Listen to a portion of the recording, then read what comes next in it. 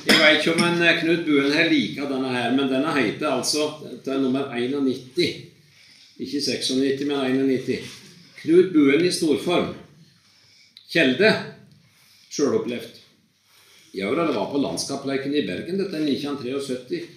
Og mange hundre interessert i felespill og kveing og bygdedans hvor og der til jubileumskappleik i over 50-årslaget til landslaget for spelemenn.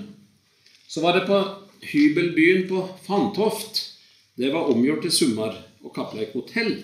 Og i femte etasje på et ganske lite rom, på et koffertstativ festa på veggen, og med en slik eh, telefon som henger rett opp og ned, like over hodet. Der satt Knut Buen fra Tuddal og spilte Telemarkslåtter så det susa. Fela ljoma, og Knut trampa så det helt, og lyden slo inn i gulvet og breidde seg nedover i etasjene. Og inne på rommet var det i hvert fall 20 mennesker med stille, intens lytting til spillet og med noe kraftig skåling innimellom hvor slått. Plutselig ringer telefonen. Knut stopper spillet, det blir musestille. Klokka er snart elleve om kvelden, fin sommerkveld. Fra resepsjonen så hører vi en kvass stemme på skjærende bergensk. Det kommer klager på bråk fra utenlandske gjester i etasjen under dem.